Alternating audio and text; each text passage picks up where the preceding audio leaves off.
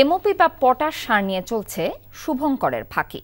সংকটের কারণে সারের দাম বেড়ে হয়েছে দ্বিগুণ।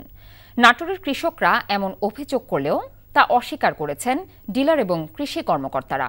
বলির পাঠা না হয়ে রোপা আমন ধান বাঁচাতে এর সমাধান চান ক্ষতিগ্রস্তরা।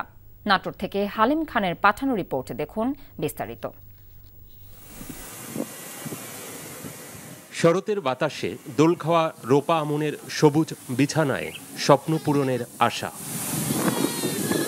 কিন্তু নাটোরের ফসলের মাঠে মন জুড়ানো এই সবুজের ভেতরে গুমরে কাঁদছে কৃষকের অদেখা কষ্ট। এমওপি সার পাই না।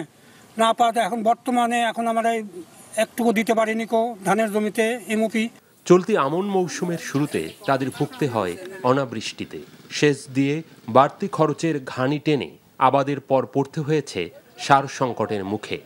আর ধান থেকে গুটি বের হওয়ার এই সময়ে পটাশ সার পাচ্ছেন না কৃষকরা।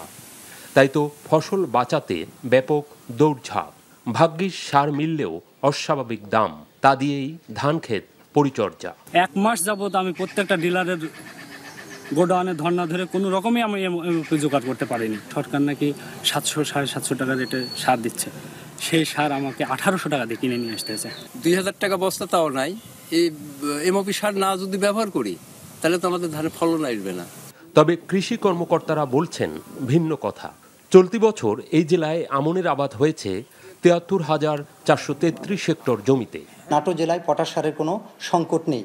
তবুও এর বিতরণ সুষ্ঠুভাবে করার জন্য আমরা উপজেলা কৃষি অফিসারকে বলেছি এবং তারা মিটিং করছেন সার মনিটরিং করছেন। সম্প্রতি ব্যবসায়ীদের সাথে নিয়ে সার সংকট মোকাবিলায় চাহিদা অনুযায়ী বরাদ্দের দাবি জানিয়ে জেলা প্রশাসনের মাধ্যমে কৃষিমন্ত্রীর কাছে আবেদন জানান বিএফের পরিচালক এবং জেলা সার ব্যবসায়ী সমিতির সভাপতি।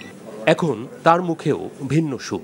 নাটোর জেলায় কোনো সারের সংকট নেই এবং আমাদের প্রত্যেকটা দোকানে আমরা উপসহকারী কৃষি কর্মকর্তাকে বসিয়ে রেখে আমরা সুষ্ঠুভাবে কৃষকের মাঝে সার বিতরণ করছি। এমন অদ্ভুত সমীকরণে পড়ে ঘুরপাক খাচ্ছেন এই অঞ্চলের কৃষকরা।